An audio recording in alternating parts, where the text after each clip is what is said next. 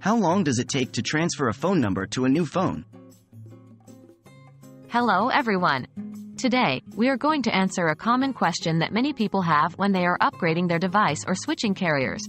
How long does it take to transfer a phone number to a new phone?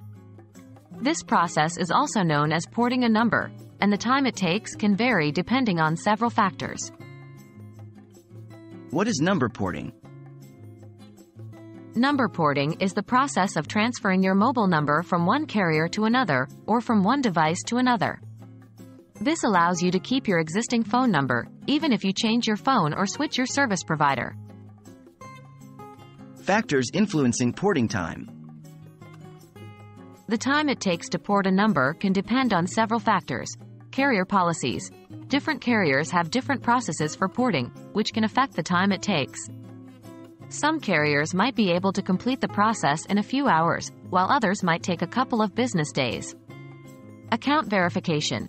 Before porting can occur, the new carrier needs to verify your account details with the old carrier.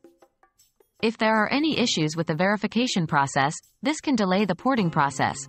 Business days. Porting requests are usually processed during business days.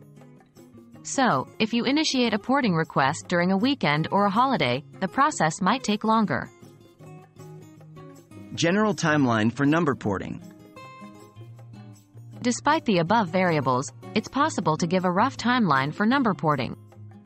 In many cases, porting a number between mobile phones or between carriers can take between one to three business days.